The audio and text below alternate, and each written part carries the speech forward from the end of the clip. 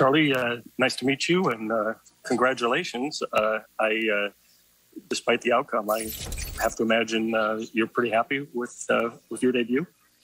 Yeah, I thought I threw the ball well. Um, you know, I did I did what I'm going to do. I'm going to throw strikes, change speeds, and um, try and keep hitters off balance. So I felt like I did a good job with that and executed the plan um, that uh, me and Wes and Ben put together before the game. I thought we did a good job with that. So um, you know, got the first hitter out of the way. Couldn't get much worse than that, and then um, we went from there.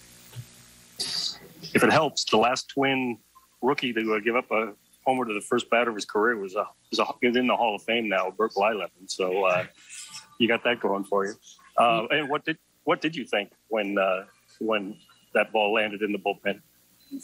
Um, I made a bad pitch. Uh, you know, I think that um, good pitches get hitters out, and I didn't make a good one. And he did what uh, what good hitters do, and he hit a home run on it. So, um, you know, I just had to go back and, and really make sure I was executing what I what I was planning to do, and um, I thought we did a good job with that after that first hitter. Hey, Charlie, was there a point in time, um, you know, throughout the start that you really you started, I guess, feeling really settled in and really comfortable, kind of as it as it went along?